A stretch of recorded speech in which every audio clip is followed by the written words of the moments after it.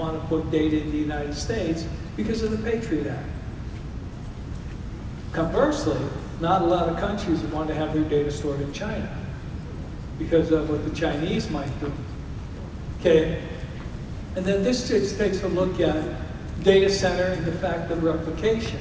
Now you have a problem with the idea of replication, and that is when you delete data, if it's been replicated two or three other places, has that data been deleted? I'm just going to run through this. This just shows virtualization, how really big it is.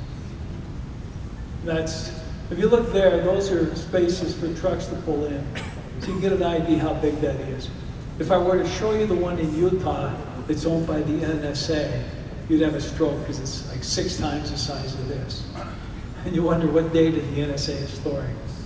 Okay, security issues, failures by the provider, attackers can be internal or external. Do they come in to destroy you or do they come in to colonize you? If they come in to colonize you, what kind of damage can they do? Because it's just like having a spy inside your system. And this is me, this is how I keep my password on there. You have reliability and availability issues. We have a lack of tools and procedures, and we have integration issues. I had an integration issue with trying to get my United States plug into one of your plugs with two prongs. It didn't integrate very well. Okay? And then social engineering attacks. I just put this in as a scare slide. The real scare slide is people are getting a whole bunch of data. This is the IRS that got hacked and the amount of data that is leaked by the IRS. Okay, shared service consequences. If you are sharing services with someone, then if they have a problem, and get their IP addresses blocked, yours are too. You can never run on the cloud, which is somebody's going out of business, whose data belongs to whom.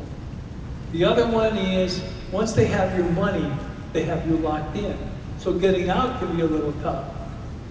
Data protection and knowing what goes on with regard to data protection and lack of transparency.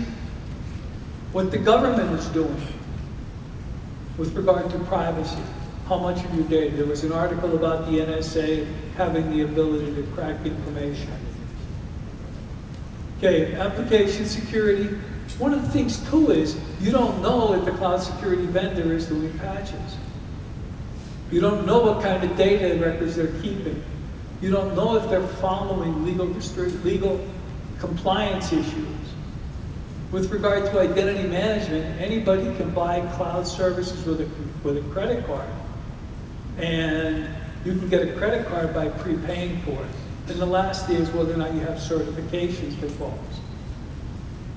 Security and pen testing, doing that on a cloud gets to be fairly difficult.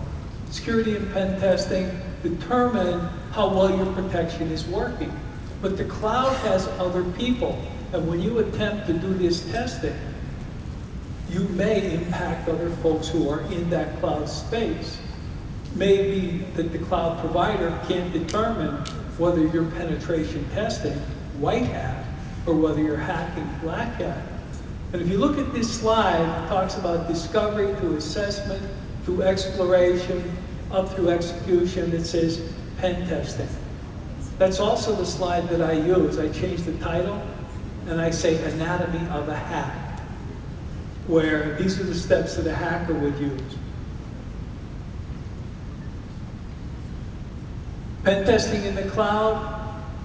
First of all, the cloud may keep treat his security practices as confidential.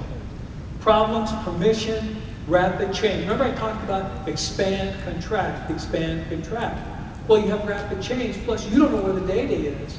So it's very tough to get that. And the question is, can you get access to the logs? And what do, am I getting a five minute line already? Whoa.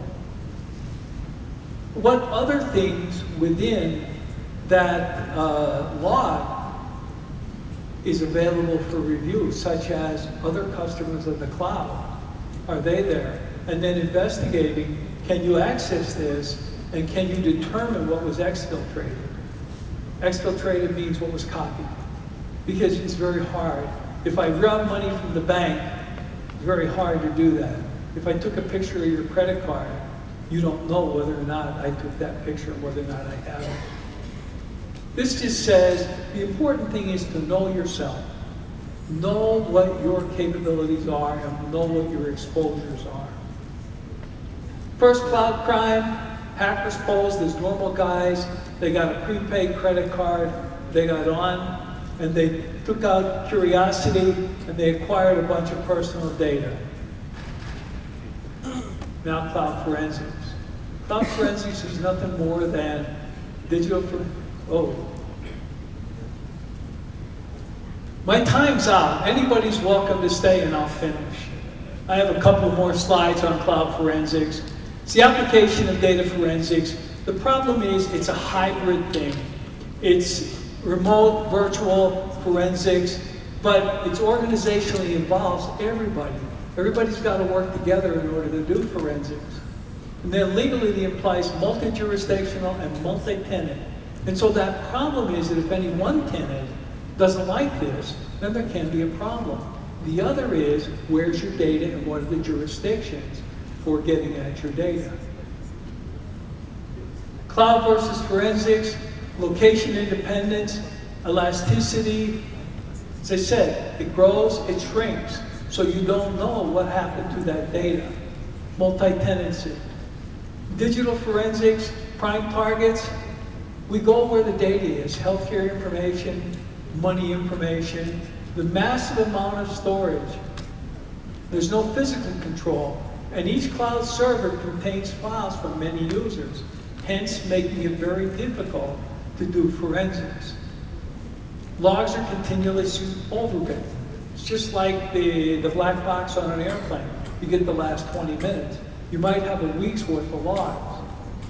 Systems and social graphs are current forensics tools can't adequately address what we have. Seizing the media, this is pretty good. Cloud seizing isn't feasible. I showed you that, but if you're looking to take out that Apple data center that I showed you, you'd need one of these. That's a land train. About 20. Actually, what they would do is they would confiscate the entire building. The important point on here is an investigation of private technology. The FBI seized a bunch of computers. And when they seized the computers, that meant that anybody who had anything on there didn't have access to it. And about 50 companies went out of business. And the FBI said, well, that's too bad. This talks about the volatility of information. And the takeaway on this is that if you have a virtual machine and you turn it off, you've lost your data. Which means that if the person changes their data uh, in that period of time, you have no idea of knowing it. If you do a restart of a virtual machine, you've zeroed it out. Registry. Entries, temporary internet files that reside and stored in the virtual system, they're also lost. This is just an idea of Amazon provides a service where you can take a snapshot of a system in time.